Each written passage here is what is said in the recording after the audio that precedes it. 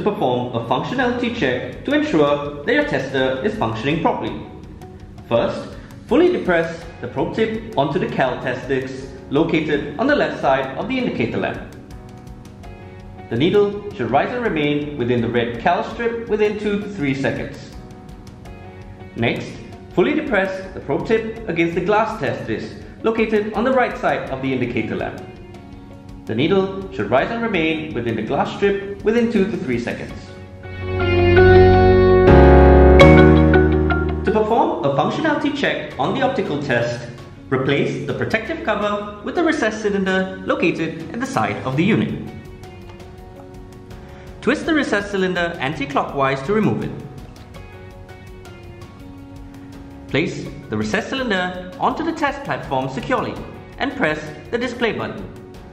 The display should give a 000 reading.